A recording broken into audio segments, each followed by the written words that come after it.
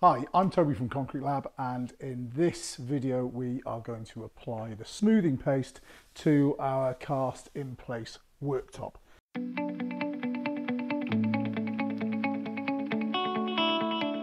Now when you receive your smoothing paste it is a just add water product so you're literally going to receive a pot full of what is essentially powdered product.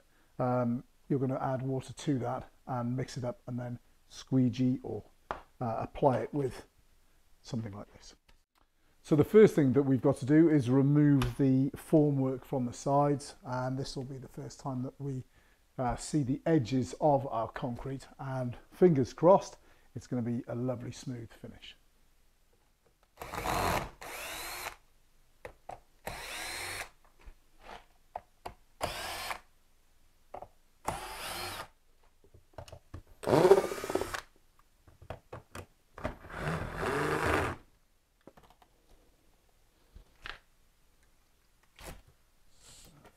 So that's come away nice and easily.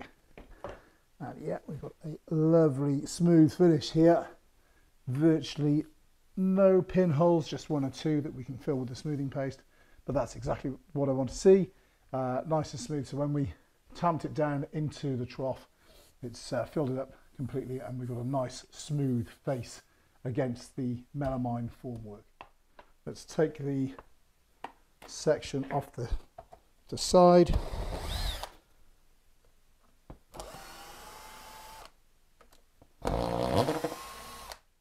So as we take this off now, we should be exposing the sub base, which is our MDF.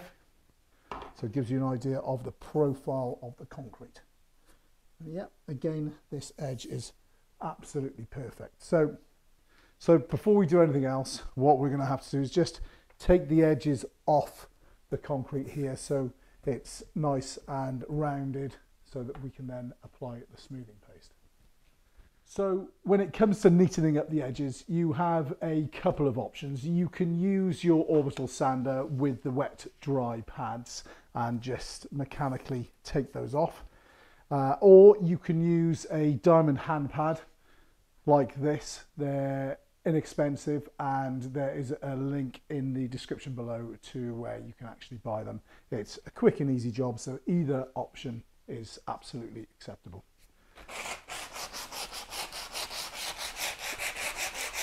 Literally just rubbing it up and down.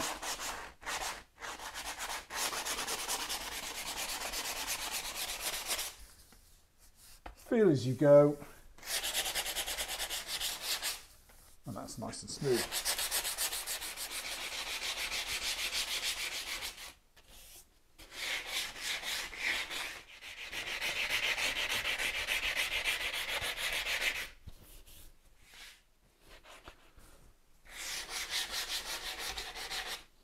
Well, that's the top edge done, but don't forget to do the bottom edge. What we often find is that when people see the concrete for the first time when it's finished, they will come along and they'll rub their hands over the top and say, oh, isn't that lovely? And then they'll rub their fingers along the underside as well. And if you haven't taken the edge off there, that can be quite sharp.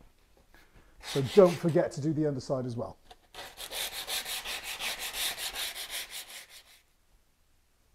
And that's lovely and smooth. And with a quick wipe down now, we'll be ready to apply the smoothing paste.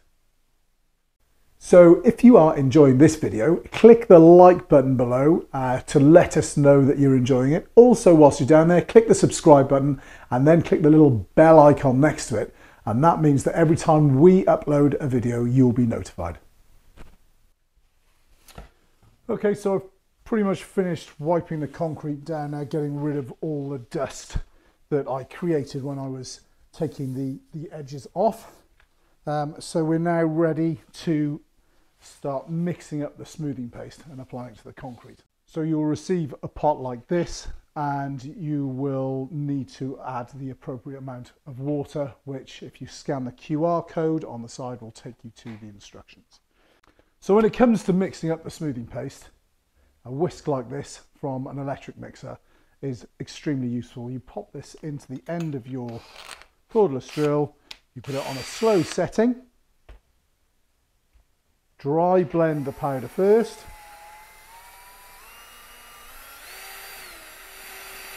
you blend it for a while because you want to make sure that all the active ingredients are mixed thoroughly. So a good minute to a minute and a half.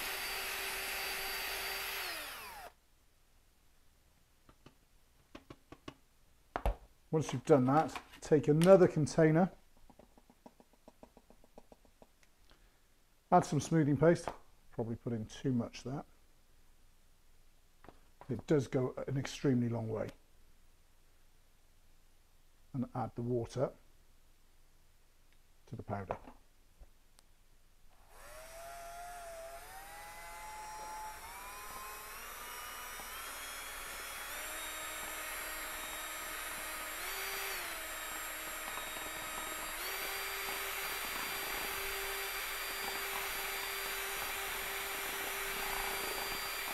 Now I've made that far too liquid, so I need to add a bit more powder now to stiffen it up a little.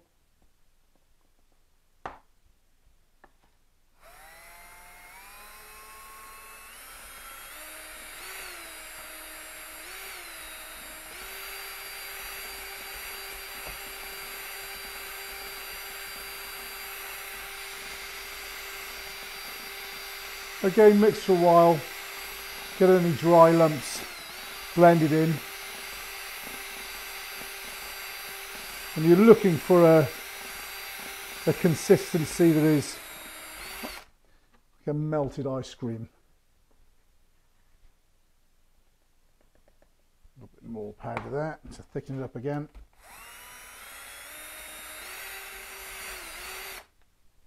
Okay, so we've got a nice paste there.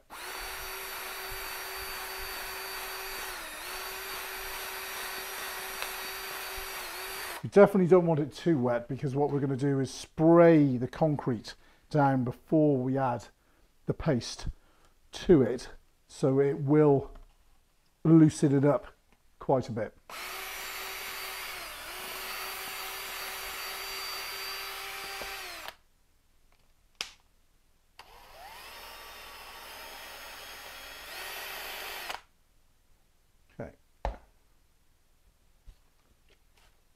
Final spritz.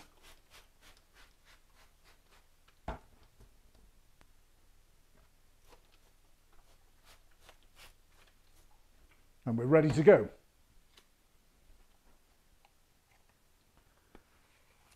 So it's simple as getting the smoothing paste onto the concrete and just working it into all those holes.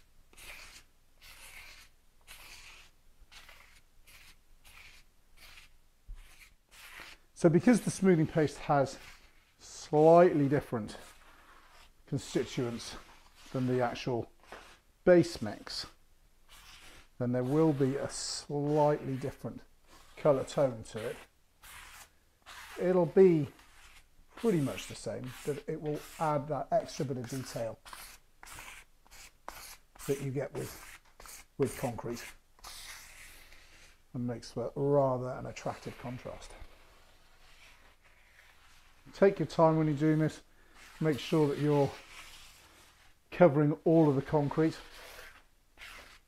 What you might find is that you'll need to do two passes depending on how wet you've mixed this one up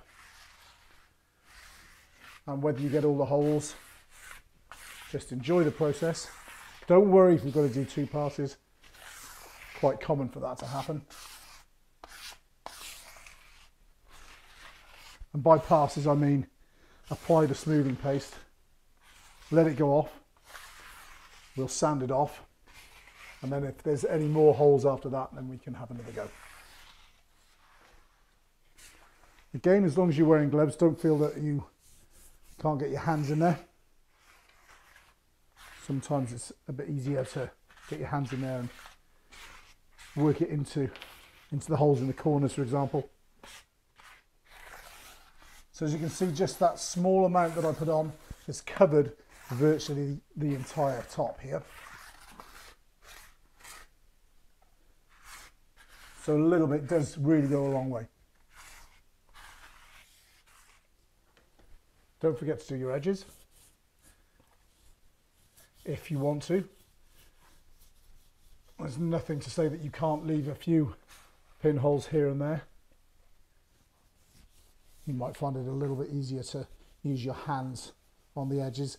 The other area that you should slurry as well, or should uh, smooth out, is the, the, the edges that you sanded.